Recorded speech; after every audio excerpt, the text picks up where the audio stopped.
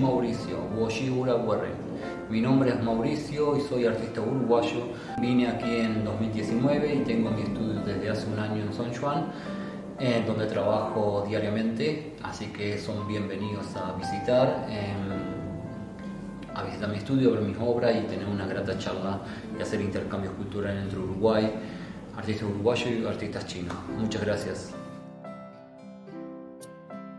Yo generalmente empiezo a crear a partir de entre las 10 y las 11 de la mañana hasta las 6 del 7 de la tarde, porque yo trabajo con luz natural, trabajo cuando estoy en mi estudio porque yo no vivo aquí y, lo que hago es eh, escuchar música, la música es muy importante en mi obra. Eh, ahora, por ejemplo, en mi nueva serie estoy escuchando música electrónica africana, donde eh, esos ritmos de tambor y con la tecnología de, de la electrónica me ayudan al movimiento a crear este tipo de obra.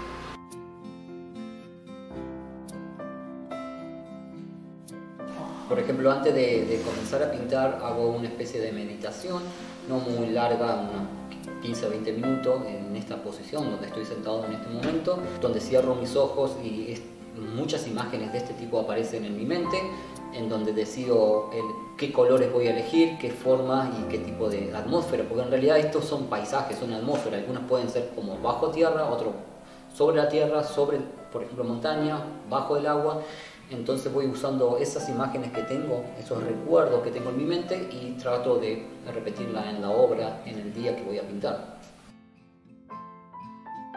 Eh, todo influye en, la vida. Los artistas somos personas que eh, muy influenciados por las cosas externas que nos pasan.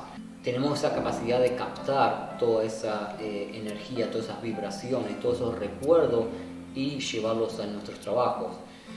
La familia el país, la región de donde naciste influye determinadamente en tu trabajo. Por ejemplo, mi familia es de familias de escritores, músicos. Recuerdo que mis padres, sobre todo mi madre, me eh, leía libros de duendes, de hadas, de mundos fantásticos. Eh, y todo eso despertó desde muy temprana edad la imaginación en mi, en mi vida. Eh, también recuerdos el carnaval. Uruguay tiene el carnaval más largo del mundo, donde desde muy chico eh, íbamos a ver los carnavales, eh, donde la murga, el candombe, las luces, las caras pintadas, eh, todo eso generaba una cantidad de fantasías en mi, en mi, en mi pensamiento que en el futuro, hoy día, llevo en mis.